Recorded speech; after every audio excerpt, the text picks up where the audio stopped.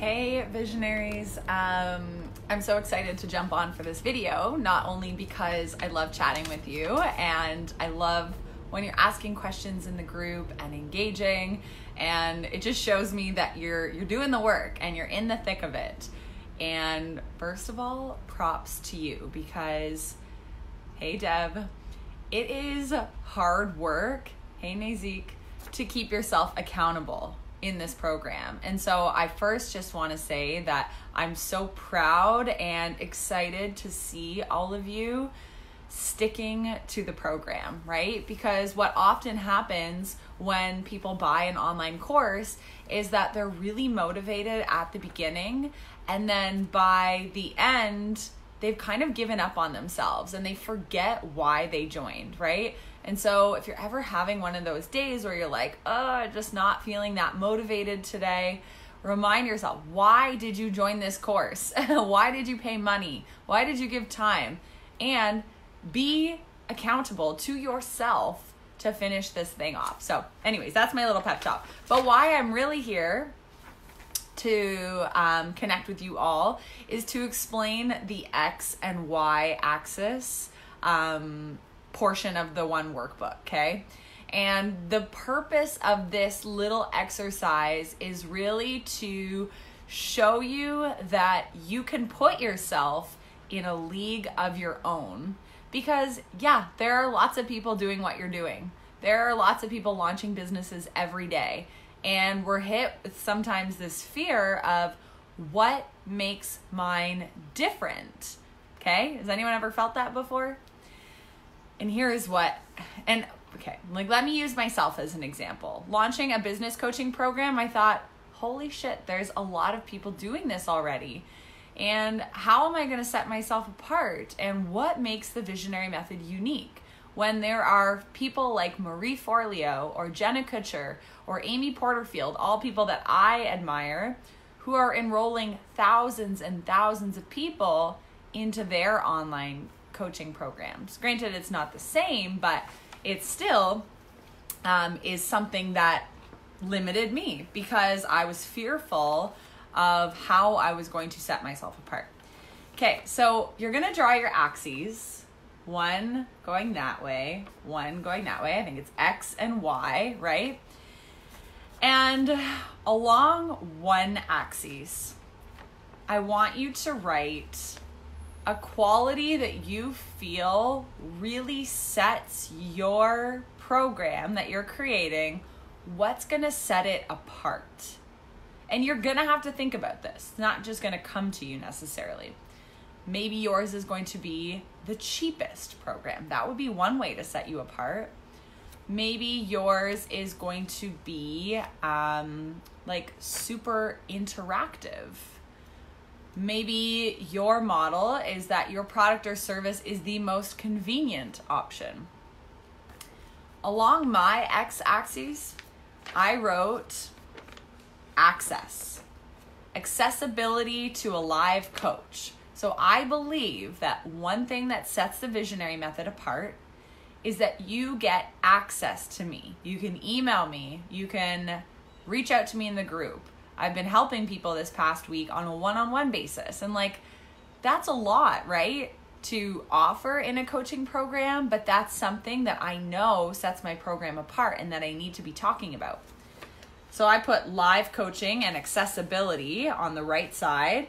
And then the other end of that line would be no access to the coach. A program that's running on automation where you get to watch videos, but there's no live interactive element. You wouldn't be able to ask these questions. So, again, along one line is my strength of the visionary method, having it super accessible, live coaching and on the left side, I wrote no access, an evergreen, basically a turnkey program where you don't get to talk to the coach. Something like some high level people, like the ones I mentioned, Jenna Kutcher, Amy Porterfield, they're not really working their coaching programs anymore. They have them on autopilot or evergreen, as we call it. So that's one thing that sets me apart. Then I wrote a second uh, key feature of the program, And that's that the visionary method covers a really broad spectrum of all your key business skills. So it's not just about email marketing. This is not just about writing your business plan. It's everything. It is for people who need to shake up their foundation, to write their foundation, to redo their foundation, and really learn about all the key elements that you need to have in place and take action on to find success. So for me, I have broad topics, broad coverage, and tons of content, okay? So that is at the top of my y axis. At the bottom, I'm writing specific or niche content. Like someone who has a course just on podcasting would be in this niche, but like I have a workbook on podcasting, so that it's broad spectrum. So all of a sudden I've got this grid where I've got no access, tons of access to a live coach, and then I have really niche, like limited content, and then tons of content, broad spectrum, lots of workbooks. So I, and like you have to kind of boast about yourself in this one. I believe that I have really accessible coaching. So I'm around for my students. So that puts me on this end of the spectrum. And I have broad coverage of business skills and all your key marketing sales strategies. So I am in this top quadrant, which is where I want you to find yourself. When I look at someone like Jenna Kutcher, who I could easily try to compare myself to every day because she is incredible. But if I look at a course she recently launched called the Podcast Lab, I think it's called, what I realize about that course is that you don't really get access to her. So I'm over here because it's an automated course and it's super specific and niche. So, yeah, you're learning about podcasting, but that's all you're learning about for like the same price as you could join the visionary method. So she's down in this quadrant. So why am I comparing myself to these superstar celebrities when I'm in a totally different quadrant? What I offer is really, really different, okay? So that is what I want you to do. And then plot some other businesses who you've been comparing yourself to another course that I've seen promoted online. It's called The Uncaged Life. I realized that she has turned this into an automated course. So, in terms of live coaching, not much. So, that puts her over here. And then, in terms of coverage, I've seen the curriculum and it's like half of what the visionary method is, but promises all the same. So, I'm putting her right in the middle here between specific and broad. So she's still not in my quadrant.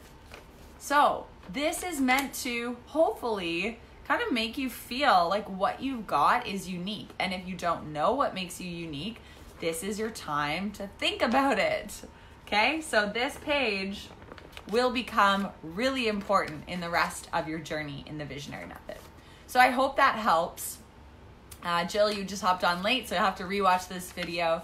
I really hope it helps. And if you still have questions, just post them below this video and I'll pop back in and answer them. All right, good luck.